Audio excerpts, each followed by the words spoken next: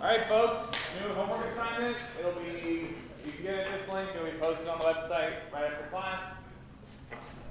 Got a week, two weeks and a day, I believe. Is that correct? Date math is hard. On the 20th, uh, there's two parts. The first part it continues where we left off with networking. The idea of the first part is you're going to be impersonating two hosts on the network. And what you're essentially doing is creating two fake hosts. One that whenever it gets scanned by an attacker, you respond to whatever TCP packet got sent in by taking that packet, sending it from your second host that you're spoofing to the attacker who's scanning you, whatever their IP address is. And then if that responds, then you respond back with the original to from the the what we'll call the victim address. So there's two two things: victims and reflectors. So to impersonate these, you'll have to create, you'll have to handle ARP on both of them. Uh, you'll be given IP addresses and MAC addresses on the command line arguments here. And so you'll need to handle ARP, and you'll need to handle any IP, TCP, or UDP packets uh, that come from one to send it out to the other. The idea is, so let's say the attacker is port scanning the um, your victim. So when they port scan, they'll send a TCP SYN packet to a specific port. And so what you'll do, you'll get that packet, you'll send that same SYN packet from your reflector IP address to the attacker. And so if the packet's open or if it's closed, it'll get a reset back, which you will then take and send that from the victim back to the attacker. If the port is open, you'll get a SYN ACK, which you will then send back from the victim. So it's you're going to read this, it's going to seem very complicated. It's actually not very complicated at all because you're just sending whatever you get back. Like if they don't reply at all, you don't reply. So you only reply back. So the really cool thing that you can tell when this is working is when you can SSH into a fake IP address that doesn't exist and you're actually SSHing back into yourself. So you think about like an attacker, uh, if they're SSHing into some IP address that they're really SSHing into themselves, and then they think they're on a remote machine and they run like rm-rf, then the joke's on them. Uh, you can write this like the other things. There's a test script here that should make your life a little easier. Um, that sets everything up. You can dig through that to see exactly what's going on. I'm not going to go take up enough, a lot of time on this. Uh, you can do this in whatever language you want. I highly recommend you use Python and use the Scapy library. It makes this assignment a lot easier, but if you're a someone who likes pain and punishment, feel free to do it in whatever crazy language you want. Sorry, I mean if you want to understand and learn things. Uh, the second part is going to be going to shift focus more to binaries. So this assignment is about getting you to understand and looking at and analyzing binary code. So you're given access to a binary. It has some password in it. Give us the password. That's it. That's it. Cool. Should be easy. All right. Let's get started so you can actually do these assignments.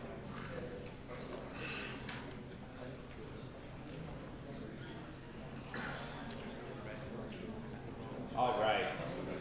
Our friendly elf.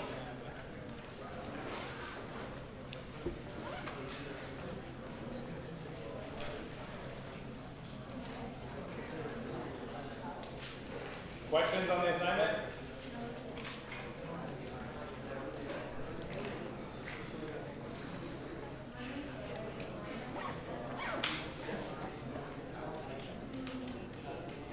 I can wait.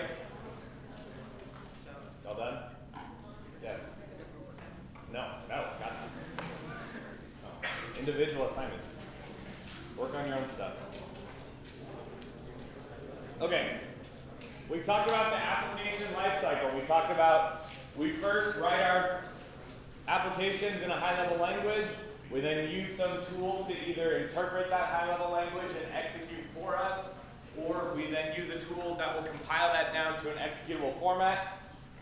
At the end of the day, that's still just bytes on disk that we actually compile.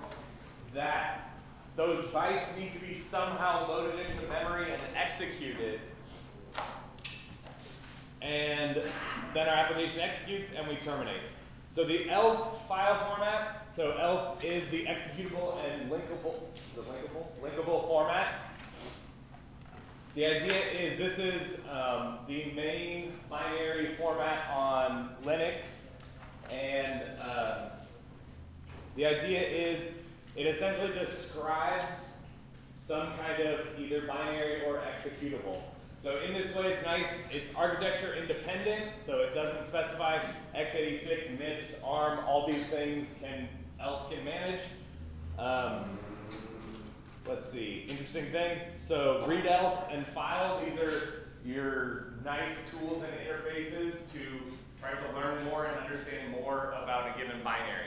So readelf is a main tool that you'll want to use. And, and remember, I'm briefly giving you overviews of these tools. You should read the man pages to these to familiarize yourself with all of their fancy command line parameters. Um, but all kinds of things. So executable shared files. So when you compile a .so file, it's an ELF file format. It describes exactly how to use this um, library. And so it's a pretty simple-ish format. You have a header file, uh, the header describes, uh, where do I want? Yeah, okay. Header has lots of nice things. Uh, what's a magic number? Just magic, cast spells.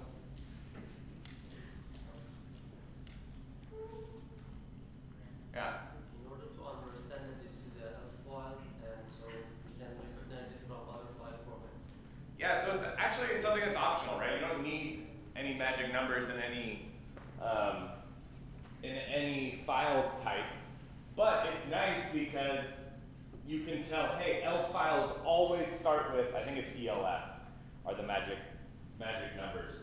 Um, yeah, it is. And so,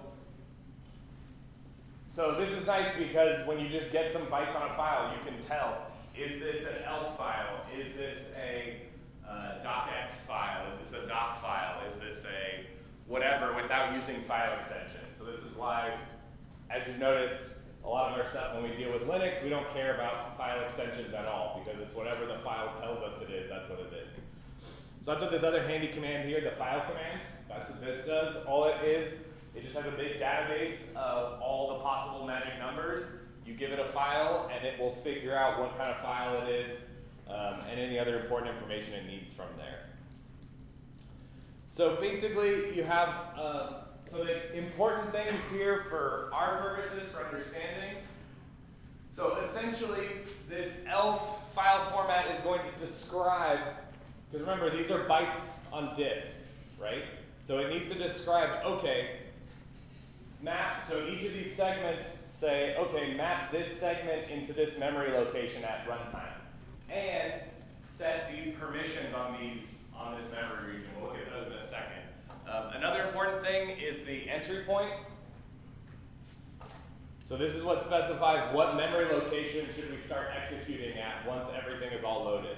So this is kind of the start of your breadcrumbs to understand a program. If you want to understand exactly what happens, right, the operating system, when it execs one of these things, it parses this ELF file format and it loads everything in memory where it's supposed to, and then it starts executing right at this entry point. So the sections are where the, um, where the main meat here is because these define all the sections in the file, how they map onto memory. Uh, so there's a lot of flags here. I'm not going to go into all of them. We'll go through an example real quick. So this is, there's different segments here. .text is traditionally your code. So this is a executable segment. And so it has, so the important thing here are the flags. So the flag bits, uh, allocatable means that it actually, uh, I believe, let's say, let's, I think it's creating a space in memory based on the, uh, what you have in the file on disk. Uh, so you can have different things, like let's say if you have a memory region of all zeros, that doesn't have to be on disk, so that would not be allocatable. Um, So interesting things are writable and executable. Why would you not want a memory region to be executable? If it's storage, it's a file. Yeah, if it's a, like, where you're storing global variables, right? Like, why would global variables need to be executable? Right? Global variables need to have a fixed memory location so that everyone in the program can access them and access the same memory locations. So why would those need to be executable? What about writable? Why would you want memory that's not writable? Maybe final variable. Wait, you already answered. Yeah. Constants? Yeah, if we want to enforce the fact that we have constants in our program that definitely should not change through program execution, and the operating system will help us enforce that by making sure that what would happen if we tried to write to that memory region that's not writable. Seg faults, yes. This actually are the answer to almost everything. So what happens when you try to write to a memory region that's not writable? A seg fault. What happens when you try to execute a region that's not executable? A seg fault. What happens when you try to access memory that's not allocated to your program? A seg fault. Exactly. So it's our handy dandy. So the text segment, it makes sense. It's executable. It has to be executable. And it's not writable. Why is it not writable? You can change the option. Yeah, you don't want to change your code at runtime. I mean, you can write insane programs like that because you can always change these bits if you want. You can go at a super low level and write an insane assembly program that does this. But when we write our C programs, normally the code does not change at runtime. Similar things, the data segment. So this is the initialized data. So this is any global variables that are already pre-initialized. It's writable because we want to change that. .ro data, read-only data, so this makes sense. Uh, BSS is for global data that isn't pre-allocated. And we'll look at maybe this init and fini later. These are um, hooks on program execution and program termination. So you can have some code that executes uh, when the program loads and right before it ends. So it's actually, it's, yes. What exactly is? Dot .bss, so it's not a file, it's a segment. So these are just segments inside of an ELF header, and these are the typical names. So the names don't intrinsically mean anything except for the fact that most compilers will generate a ELF sections that look like this. So it's not an extension. You won't see a .bss file. You'll run readelf on an ELF, and you'll see all these different sections inside of an ELF file. All right. For completeness, in the Windows world, the PE file format, the portable executable file format, uh, also the, the exe format, which is mainly how we think of it. Um, it's pretty simple. We're not really going to go into much detail here, but you can read more about that. I just want you to be aware that there are differences between the operating systems, but really um, the concepts are still the same. You need some way to describe how do I turn these bytes, load them into memory addresses, and get them to start executing. All right. Where now we're going to need a primer on assembly language because let's say we want to analyze a binary application for vulnerabilities. Do we have the source code, the C code?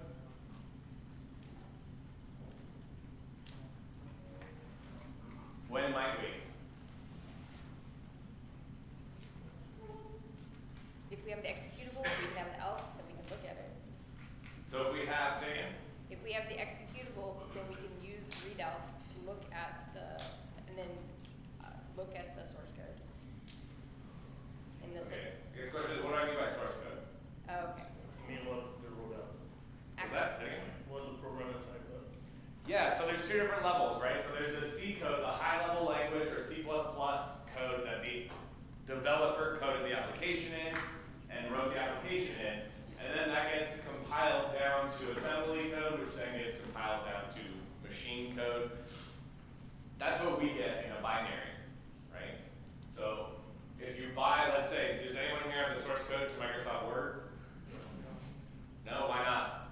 It's proprietary. It's proprietary, right? Microsoft wants to keep that source code. So they're not going to give you necessarily access to it, but you can still run and execute Microsoft Word, right? So, but there are cases, so in open source software, where we will have the source code, right? But we have to kind of assume, if we want to try to find vulnerabilities in some kind of binary, that we're not going to have the source code.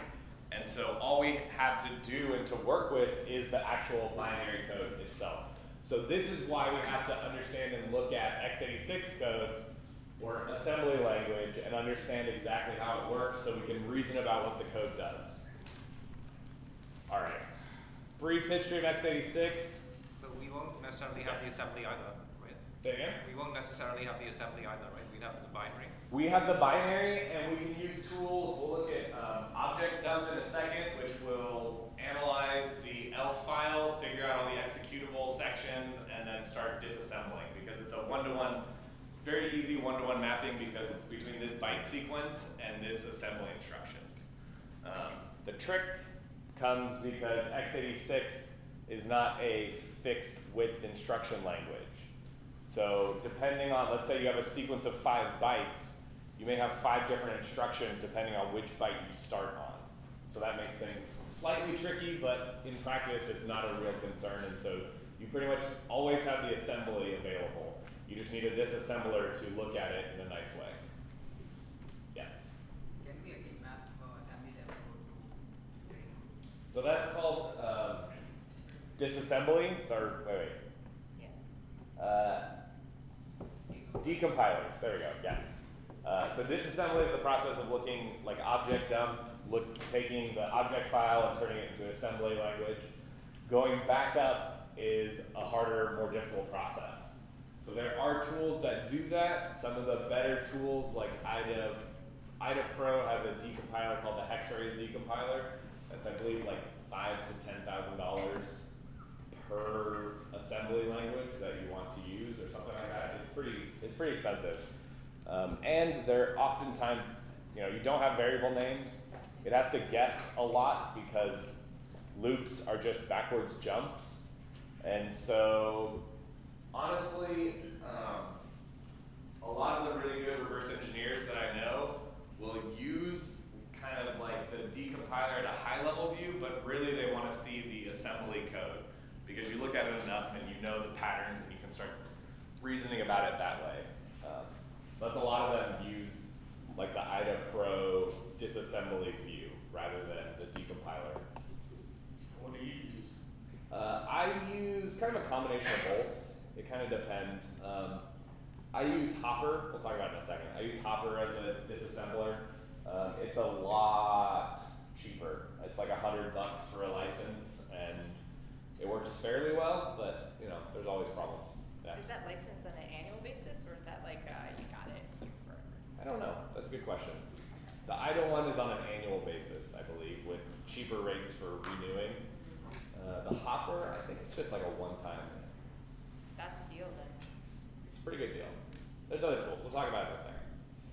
But first, we have to understand x86. So again, like I talked about, so x86 is a 32-bit architecture. So one of the interesting things when you look at this history is the history of x86 as an assembly language goes back uh, much farther. And actually, it's kind of a lie to even say that modern CPUs actually execute x86 instructions directly. Um, what actually happens if you take a computer architecture course, you learn about microcode. So what actually happens is the CPU takes in decodes of instructions and translates them to microcode that it actually executes, which is nice because then you can upgrade and update your uh, CPU if you ever need to, because let's say there's a bug in how you handle a certain instruction. You can just upgrade this microcode and change how you're doing that. So, um, specifically 32-bit. So what does it mean when we say that a CPU is like a 32-bit architecture? The bus, the address bus has thirty, Yeah, what does that mean practically? So the address bus has 32 bits. like, Yeah. it can address. Wait, just a second. Let's go over here. The width of the instructions. The width of each instruction? Not quite. Not always. Depends.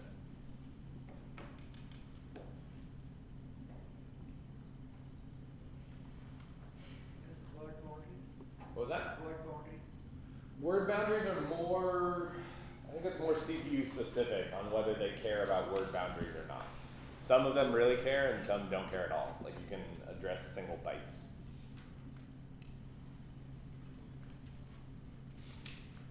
So it goes back to the bus. So you can you you can talk to the memory uh, with 32 byte addresses. Sorry, 32 bit addresses, which means you can only reference up to basically two to the 32 memory locations, where each location is a byte. Uh, ARM though is 32 bit instructions, or I believe 30.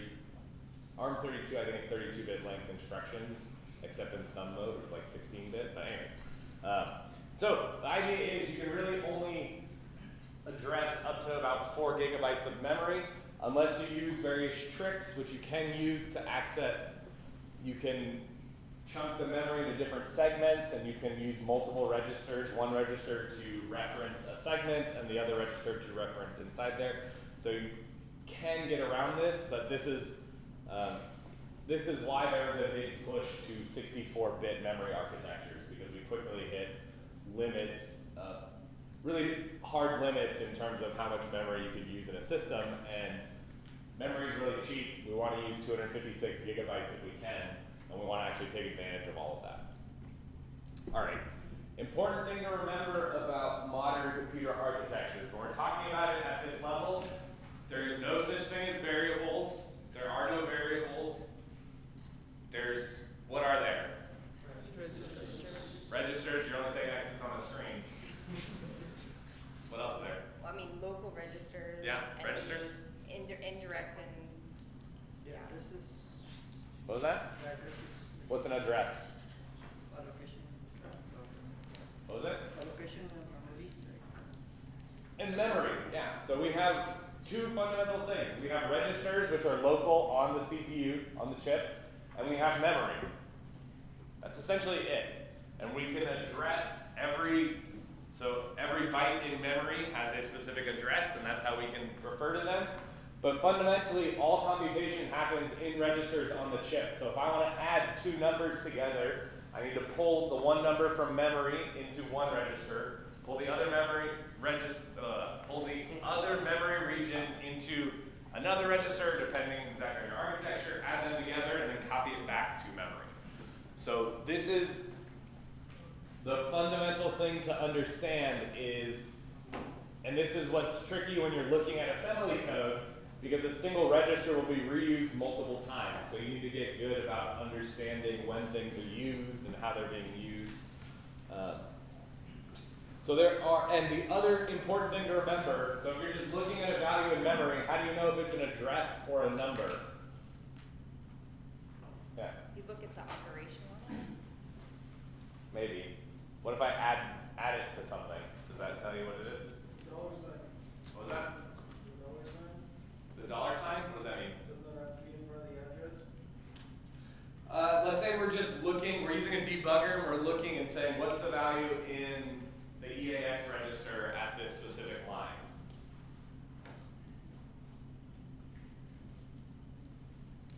That's a trick question. Fundamentally, you don't.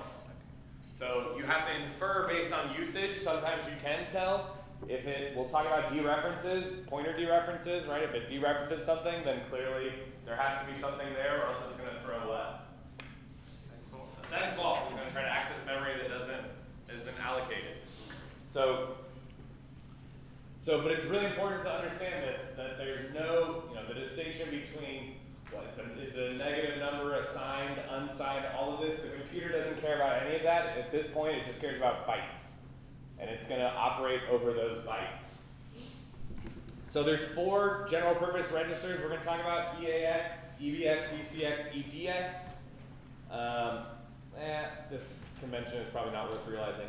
Um, the important thing when you're looking at instructions, so whenever you refer to the EAX register, it's always the full 32 bits of that register.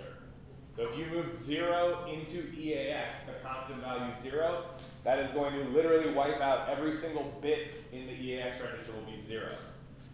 But we can also do these tricky things of referring to half of the register. So we can refer to the AX register as just the lower 16 bits of uh, the EAX register. And then within there, we can use the AH register to do the upper eight bits of the lower half of the EAX register and the AL register of the lower eight bits of the EAX register. Which means you can do crazy things like if I move, uh, let's say all F's, so all ones into EAX, and then I move, uh, let's say a constant zero into AL, I'll still have all those one bits in the other, uh, what's that? All those other bits. Yeah, I don't want to do the math, lots of different bits. So um, there are other registers we'll talk about um, in a second. But this is one of the important things to keep in mind, and this is what's when you really try to think about it. You think about okay, there are X number of registers. There are a certain number of registers. But fundamentally, every EAX operation is the same thing as the AL, the AH, all of these different, uh, all of these references are all referencing the same register, just different parts of that register. Cool. There are other, uh, ESI and EDI are two um, other registers. Uh, they kind of have this, uh, they're used in memory operations, but again, they can still be used pretty much for anything. Um, there, there are other registers that actually uh, come up very frequently, and so they gave them special names and designated them for certain things.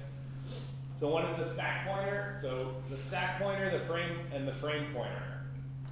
There's a third one, um, EIP, which is the instruction pointer, but I believe on x86 you can't access that directly. So how would, how do you access or how do you change the instruction pointer register?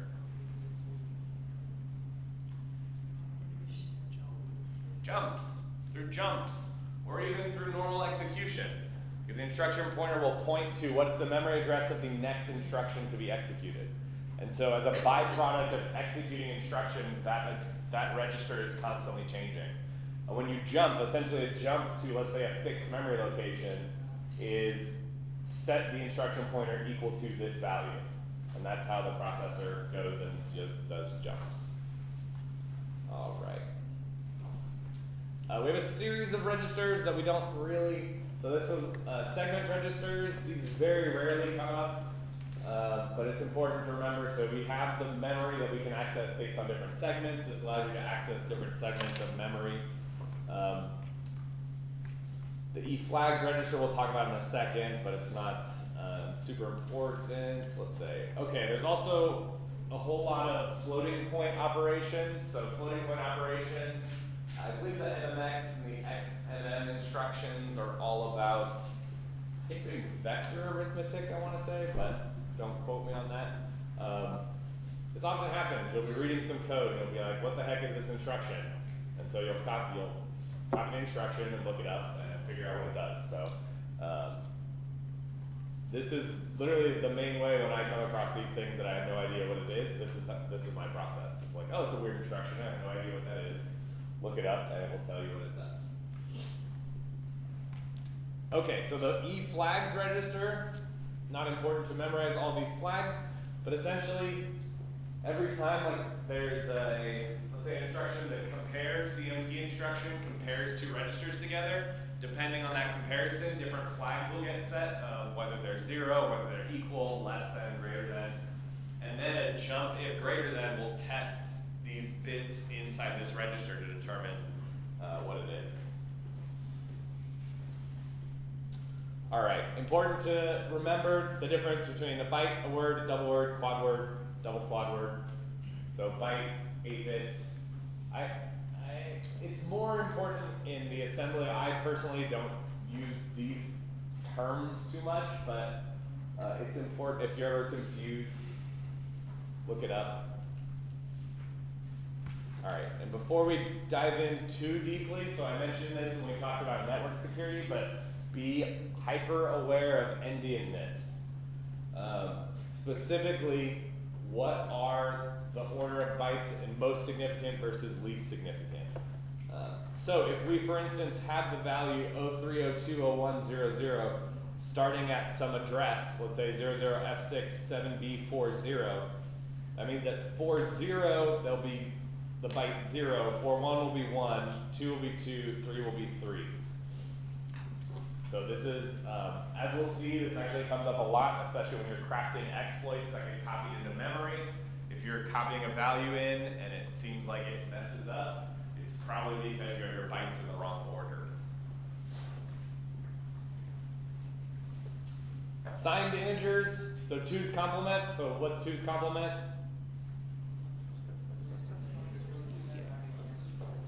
Yeah, flip the bits and add one. So this is so this is again, but to the to the CPU, it doesn't care that this is, means negative one, right? All it does is this is all all one. So this is up to you when you're reading and you see like, why is this register being compared with all Fs? It's likely a signed operation that's comparing is it greater than negative one. So it's something to be aware of. I actually the let's say the two tools I use the most whenever I'm doing binary things, it's usually actually I guess three things. So one is a decompile a uh, sorry a disassembler that you're proficient in, you know how to work. Uh, the second thing is a calculator with uh, 60, uh, 16-bit and hexadecimal input, so you can do hexadecimal calculations and not have to think about it. And the third one is actually like a piece of paper and a pencil, so I can draw things out, as we'll see in a bit. Uh, but I, I very frequently do that to keep notes and see what things are going on. All right. So x86 is a slightly, very slightly higher level language than um, machine language. You basically have, let's see, da, okay. So the important things here are the really annoying thing about assembly language is you think it's very simple, it's the thing closest to the CPU, and yet there are two different styles of syntax to use. And uh, one is AT&T syntax, one is the Intel style syntax. And you think like, oh, this is just a minor thing. No, it's an incredibly big difference in, so usually the way most instructions are, you have some mnemonic like add, compare, subtract, whatever, the actual instruction. And then you have either the source register or the destination register. And that is, order is completely swapped depending on which order you look at. I'm gonna have to cheat to figure out which one we we use because I don't. I don't actually remember. See. I think yeah, we'll use we're gonna use AT&T syntax. Uh, and the way you can always tell, so this is the trick I use to be able to tell, is you look and you see where are the constant values. So when you look at the assembly, a constant value will start with a dollar sign. So if you're if it's saying transfer dollar sign zero into EAX, you know you there is no dollar sign zero register. It's not possible to transfer something into zero. So this means that the destination has to be the last operand. If it's flipped the other way, then you know the source is the first parameter. So just you just have to kind of switch your brain and I don't know. It's it's less of an issue, and every tool you use has a way to flip between the two. So you just have to learn one and stick with it. Um, so we use a I use AT and T syntax, so that's what I use by default. All right, so hexadecimal numbers, we'll start with 0x. When we want to use numbers, um, we can define data objects as different types. We can define, and remember, we need, we're not talking about you know, high level, oh, this is an integer, or this is a float, or this is a string. Like, is it a byte, a word, a double word, a quad word, right? Those are the sizes that assembly cares about. Um, so we can define a variable, two, so we're gonna find two 32-bit values, um, and I will say assembly is nice-ish in that we can define define these unquote variables and it will figure out a memory location and we can then refer to those in our assembly code. Um, because we will be needing to write our own assembly instructions for this class as well as read assembly. Alright, so addressing memory, this is one of the more tricky parts of x86, especially when you're new to this. It seems very simple. You want to address a specific byte in memory. every byte has a memory address. You just reference that memory address. The problem is every instruction, so to make it easier to, and I guess important thing to remember is x86 comes from this very long history of CPUs. I, I don't know the original start date, uh, but where you mainly programmed in x86. You weren't programming in C or something else and then just compiling.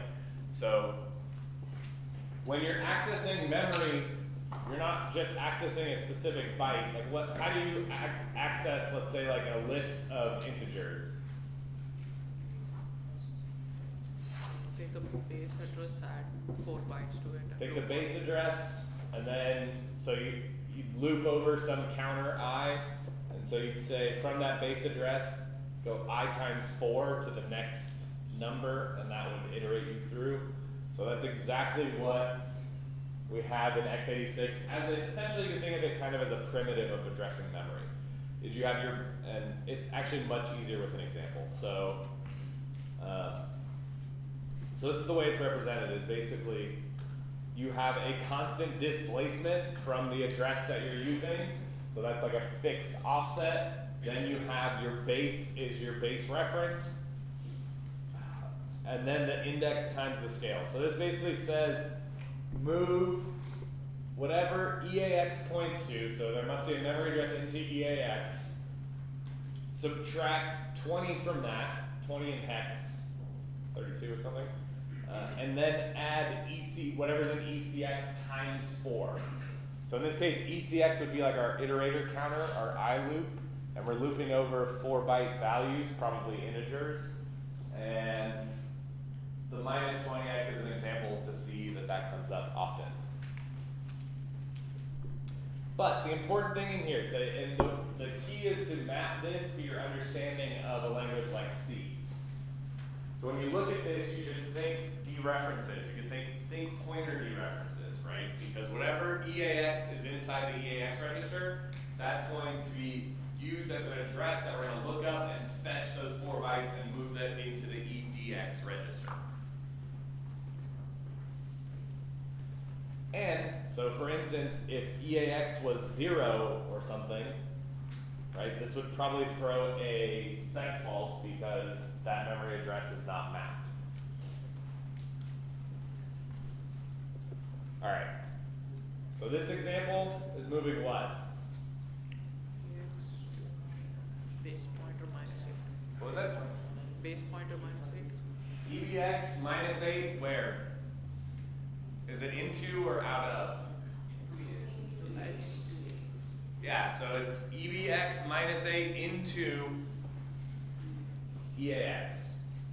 Right, so, and it's important to copy the contents of the memory pointed to by EBX. So we're referencing memory, right? The pointer dereferencing, we're dereferencing memory. It's a much easier one. We want to move EAX wherever EAX points to, that those four bytes, we want to move that into EAX. How do we know we're moving four bytes and not 16 bytes or 64 bytes or 128? Or I said bytes, bits, whatever.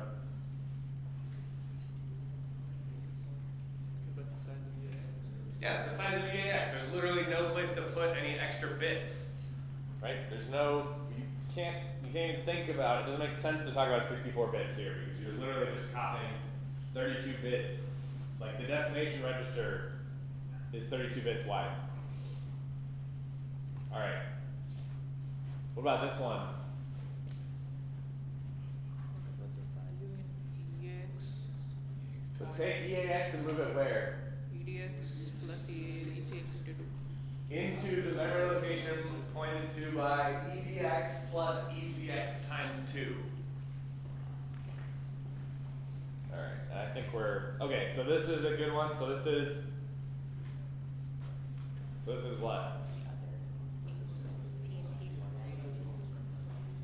Right, so this is a dollar sign, so we know that the destination has to be EBX, so we're moving the constant value hex 08048OE4 into EBX, which means after this instruction executes, the EBX register must have that value, right? That's what that means. So what's the flip side now when we introduce parentheses around the address, around the constant value? Value that the memory address. That memory location, right? So that's a fixed memory location. So try to access that memory location. Depending on the permissions of the segment, if it's not readable or it's not, we have not readable memory? I don't know. Interesting question. Uh, if it's not allocated to us, this will cause a segmentation fault, right? So depending on the program, this could work, this could not work. But it's important that this is the pointer dereference, right? So this one instruction is dereferencing that, that uh, location. Okay. Cool. Addressing memory.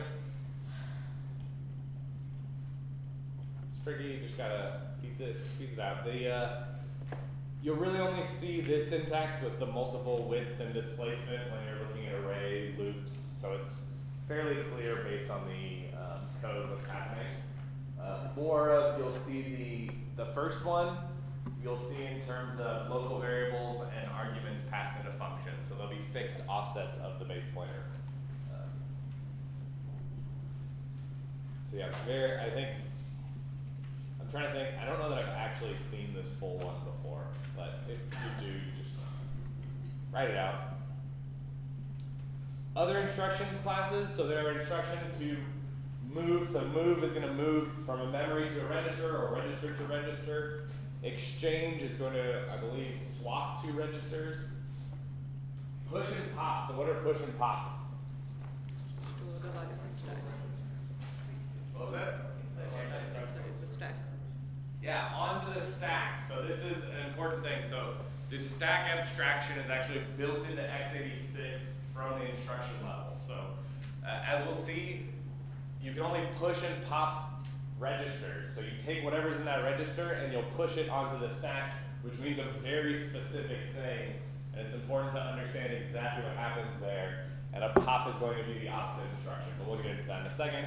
There are lots of binary instructions, add, subtract, multiply, divide, increment, decrement, and logical operators, and, or, XORs, nots, all of your favorite primitives are here.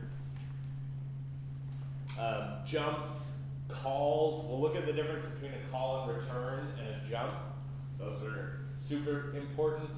Uh, int, so int is gonna be interrupt, yeah, so, uh, we'll see this is how a program will make a, a call into the, make a system call into the kernel is through an interrupt. It's used for other things as well. IRET, I believe, is an interrupt return.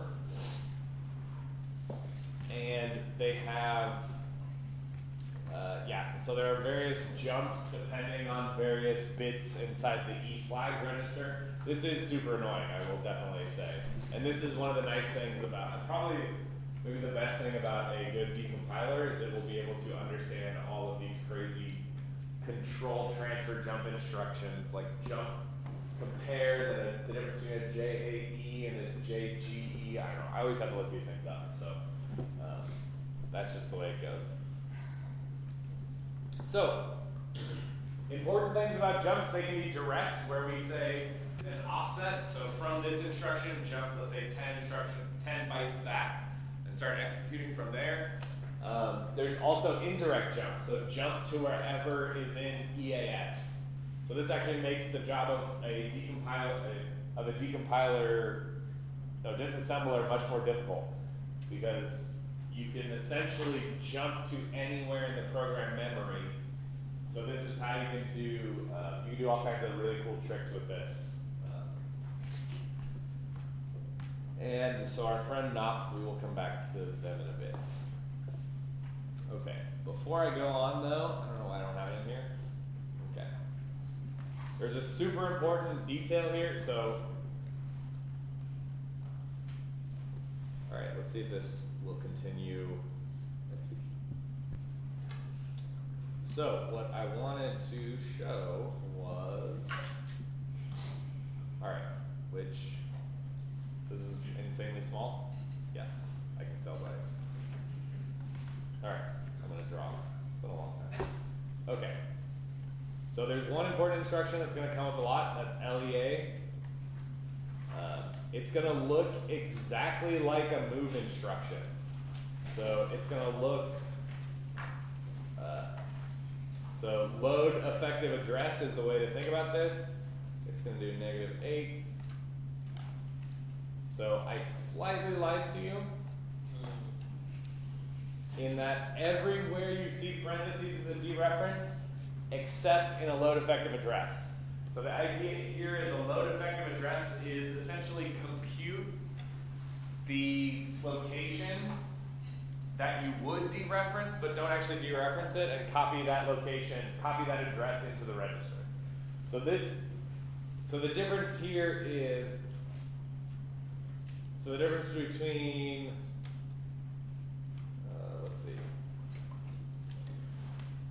Okay, so the difference between a load effective address negative eight parentheses EBX into EAX is this, the value inside EAX will be EBP minus eight. Whereas the difference when you have move negative negative eight percent EBP into, into EAX, this is dereference the memory, get me memory location EBP minus eight, copy those, those four bytes, those thirty-two bits into EAX, so whatever's at that memory location. Um, so this comes up because sometimes compilers will, I've seen them use, instead of an add instruction, they'll use a load effective address, and so it's really confusing because it's not an address inside here, it's like ten, and they're trying to add ten to ten or something. Uh, Anyways, I wanted to point that out now, before we get into it too much.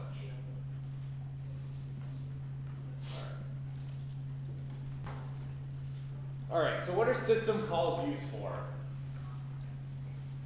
So let's think about it a different way. What permissions does our program have? We're writing some application, some binary program. What can we do?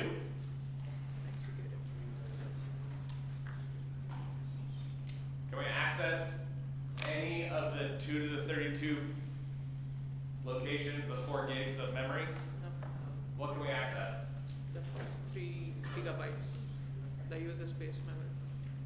Well, okay, so we sell like a for the kernel, well, let's say even there, it doesn't have to be there. What was that? Program. Say again? Memory. Program address space. I can't hear you. Program memory. Program memory, what does that mean? Right, so can I access all of it? Can I start reading out, like start at zero? Do you start at zero, Like dereference zero, copy it, read it out, dereference four, copy it, read it out, dereference eight. only where we have permission for it. You need to take permission from the operating system if that region is. Right, so it actually all comes back to the ELF file, because the ELF file specifies, you can actually map, you can say I want, you know, all of this space, or you can say, I want specific segments of this space, and I want them to map to my program memory at various other addresses. Uh, let's say I, I have, you know, so, and the way I can get that memory or try to get more memory is by asking the operating system. What are the things, like, can I or can't I do as a program? So that's just a binary executing without talking to the operating system. Access, accessing the file, so ultimately it would. Accessing files, can I access files? It ultimately makes a system call, so OS. Yeah, you have to make a system call, right? You can't actually even talk to a file, right? Why is that? Yeah. Because you're actually, in the hardware, it's going through across the bus system to your PCI device or wherever the destination. There's not the translation of that physical address to whatever. Yeah, not only that, so you have, you wanna open some file, what is a file except for a name that the operating system has to then figure out where those bytes are on the physical hard drive. They may not even be contiguous bytes, they may be disjoint bytes. And depending on what file system you're using, ext2 or whatever, there's metadata. So if you just gave a program access, raw access to the hard drive, they can fundamentally change or edit any file on the system right? So the operating system not only mediates who can access what files, but it also provides nice abstractions.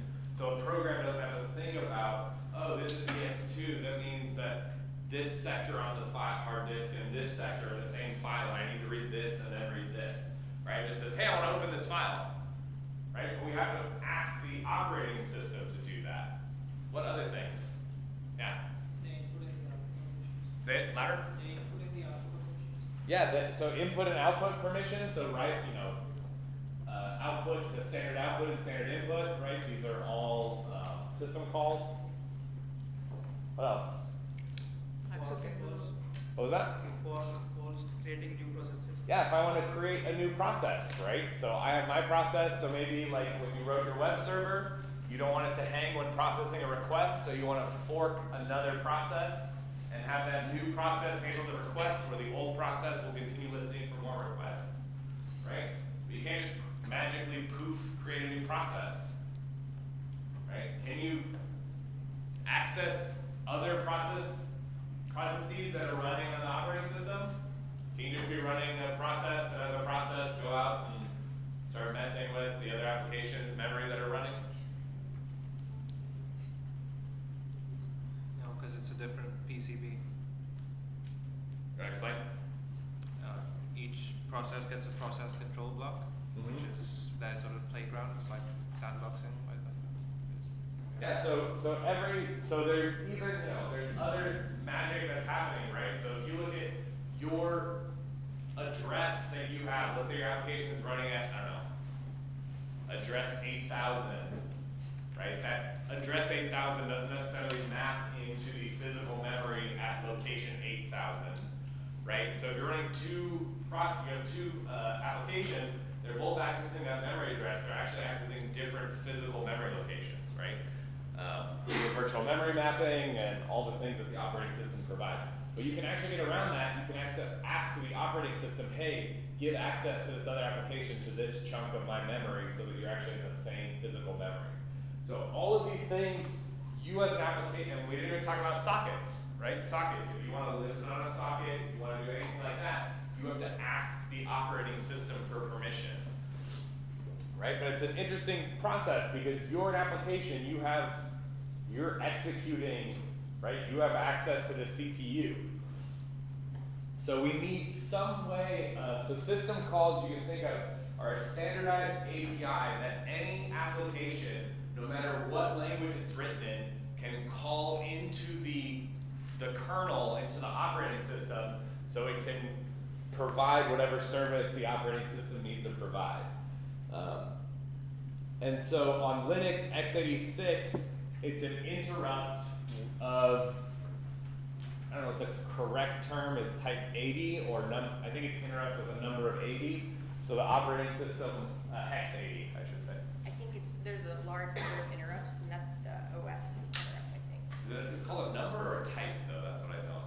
I know it's this specific interrupt number, but I don't know. So the system call, or, so the hardware will then trigger an interrupt. The operating system has already set up an interrupt handler, well, it will go through and say, depending on the interrupt number, uh, do this, do this, if it's interrupt hex eighty, then I know it's a system call.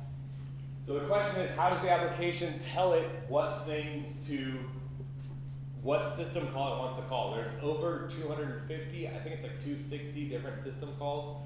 You can go look for the list of all of them, the latest Linux. So the EAX register will contain the system call number. So uh, this is how it tells the operating system which system call to actually make. And so we'll look at a brief Hello World program example. Why don't I have more? That's interesting. Okay. Uh, so here my dot, so I have a data segment that I'm saying. I have a hdub hello world. I'm gonna say it's a string hello world space n. Then in my text segment, so this is a text segment. I'm gonna say this is code. I'm this is so the global the, the global directive uh, globl is telling the linker I want to expose main as a uh, as a symbol that other people can call. So this is needed, I believe, when you want to use GCC to compile it because it expects the object file to have a main um, method. So in my main method, I can move four into EAX. So four is going to be the, well, let's look at the code. We're gonna move one into EBX. We're gonna move um, the address of hardware, so the compiler, as we'll see, so this dollar sign HW will be replaced by the compiler's choice of where to put the hardware, HW, and then move uh, 12 into EDX, and then call int 80. So what we didn't talk about is in terms of system calls as to where to put all of the rest of the arguments, right? We have the, so EAX is going to contain the address of the function we want to call. In this case, if you look up in the system call table, EAX uh, 4 would be the write system call, W-R-I-T-E. So we want to write out. So what are the arguments to the write system call? The data. Where to write? Where to write, so what, what file descriptor to write to? Standard output. What else? What are the arguments? The buffer of what we want to write out and the size of how much we want to write out. So, and so we use the registers EBX, ECX, and D, EDX for those values. So EBX is going to contain one, which is which file descriptor? Standard. Standard out, right? Standard input is zeros, standard out is one, standard error is two. Those are things you should memorize. There's a few things that you should, that's one of them. ECX is going to contain the address to our buffer, in this case, hardware, so it's going to contain the address that points to the very first byte of our string. And then the length EBX is how many characters to output, so this is, should be the length of hello world plus a new line. And then we're gonna call int 80, so that's gonna trigger an interrupt into the operating system. The operating system will do, handle the writing for us to that file descriptor. And then we wanna clean up, we wanna call exit zero. So we're gonna move zero into EAX because this corresponds with the system call exit. Or shoot, alright, we're not gonna do that. Just getting ahead of myself. Um, we'll look at, we didn't look at, uh, CDECL calling convention, but this in x86 in the CDECL calling convention, the EAX register after our function executes will contain the return value of that function. So this is basically the same as return zero in our C program of our main function, which will get called, the exit will then get called with this value. So we can take this, we can compile this, we can run it. It'll work, I think. Although if you just copy this in directly from the slides, I'm not 100% sure if Word mangles or PowerPoint mangles these things. But I highly recommend taking this, running it, executing it. Actually, you know what? Three. All right. So everyone can here witness that this actually did work. So even though it's only being recorded now, uh, compile it. We can look at a.out. We can run readelf. I think capital S gives all of the sections, like all the information that readelf has. So we can look at all of these different sections that the elf file creates. So basically this says at, so here's how to read this. Uh, let's say that the .text segment is, so it's program. It basically means, so I want this text segment, I'm calling it .text, I want it loaded at memory location 080482E0. It's at file offset of 2E0, so offset in the file. So starting at byte 2E0 in the file, load the next 182 hex bytes, copy that to memory location 080482E0, and that's where my code will be. And it's, um, if you look at this code, it's allocatable and executable, so it's not writable. And you can see other segments down here that are writable, like the, the data segment, the BSS segment. Um, and if I run file on it, it'll tell me it's an ELF 32-bit executable. Um, it's dynamically linked, which we'll talk about in a second. Um, and if I execute it, it should say hello world. And then I can use objdump dash capital D to disassemble everything. Type it through less. I'm looking for the main function that I executed because there's a lot of stuff in here. And I can see, so this is at 080483db. It's going to move 4 into EAX, 1 into EBP, EBX.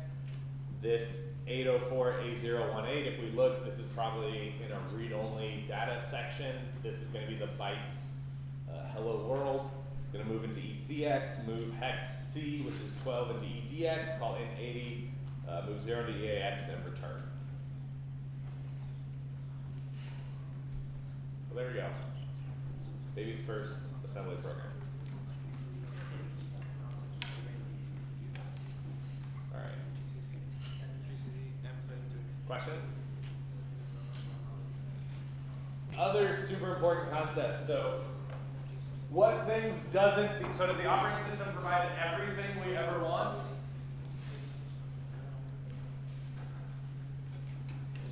Keep that? You good? Does the operating system provide everything we'd ever want?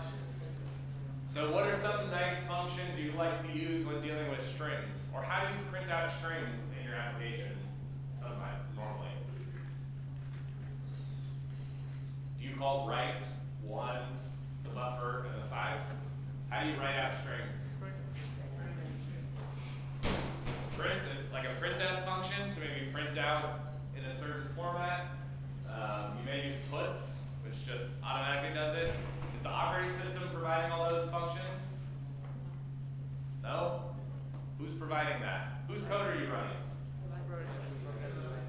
A library, yeah, so that's in libc. So libc is the main, um, there's a really good book. I should find the name of it, I don't remember it. There's a really good book though that is all about um, implementing libc. So it's like a re-implementation of libc in a way that's really easy to understand. So you can see all the things that libc actually provides you with. Um, so just, so in your application, this way you can call a standard library to, let's say, print out a string, which will then call something like string length to figure out the length of the string, and then ultimately call down to the operating system to figure out what's going on, uh, to actually print out. So this gives you a nice abstraction layer above these kernel level functions, and the kernel can be simple because it doesn't have to provide you with all of these crazy functionality, and this can live in your program. The question is, how does this actually get called by your program? So when your program, let's say, call, makes a call to puts or to gets or to printf, right? The C standard library is fairly large. How does that actually happen? So, and this actually is really important in terms of vulnerabilities, um, as we'll see. But the basic idea is there's mechanisms, the PLT and the global offset table, so the, P stand for procedure linking table and the global offset table. So essentially, um, what you'll see is that for every library function that your application uses, it calls into a specific location. Actually, maybe it'd be better if we looked at an example. All right. It's like inception, like a spring. All right.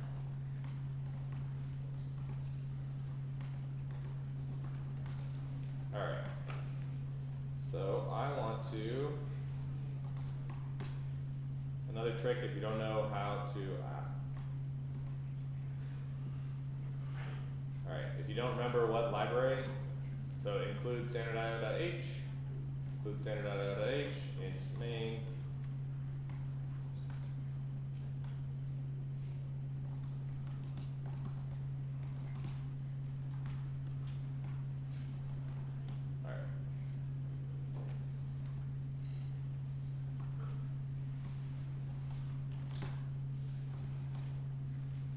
Uh, okay.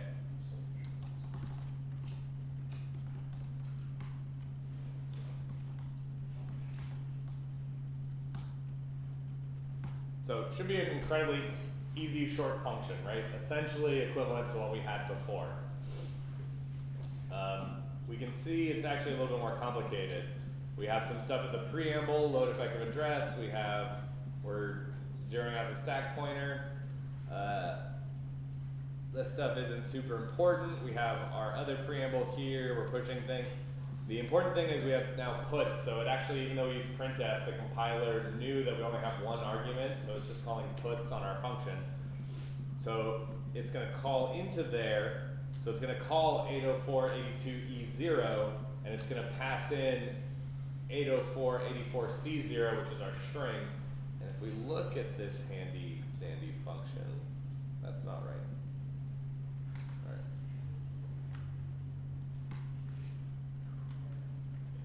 Wait, is that what I wanna do there? No.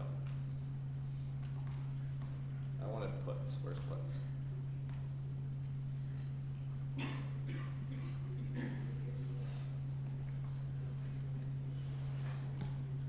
Alright, so if we look at puts, right? You gotta think about this is the code that's in our program, right? The code that's in our program. So puts actually doesn't like this isn't the puts code. What do we want to have happen here? We want the libc binary to be brought in, and we want to actually jump to the code that's in the libc, like the .so file. But our program doesn't want to deal with that. Our program needs to jump to a fixed location. So what happens here is we jump, so this is a star, so this is an indirect jump. So we're jumping to whatever's at memory location 804A00C.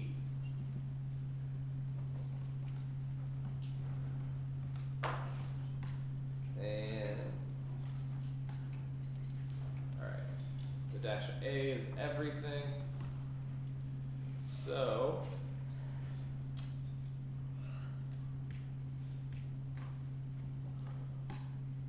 there we go. And so essentially what's at that memory location is nothing at the start, it's code that then loads up libc and copies the value when libc is located in our address space where the symbol puts is located and then puts that memory address at that 80, was it this one? It was 0804A0C7. So the first time it's called, the library is loaded, added the memory, and then it jumps there. Um, and then that way, all the other times, the um, you don't have to do this loading procedure, and it just starts executing there. And you can. Uh, yeah. Okay. Yeah. So that's. And so this will be really important when we look at, um, this is one of the regions you can corrupt to try to change the program uh, code execution. Um, let's see, is there anything other interesting? Oh, uh, other interesting programs. So if you ever want to see, if you ever want to see what system calls your program is making, the strace program The strace program will trace all the system calls your application's making. So this shows you that it's calling, ends up calling write one hello world 12. Um, if I did ltrace, ltrace hooks libc and shows you all the libc calls the application's making. These are other ways to learn more about what the program is doing. So here you can see it's calling uh, puts hello world, and with strace you can see that actually all of that gets eventually translated to the operating system level as a system. All right, cool. So when we get back, we will dive into process structure and keep on going.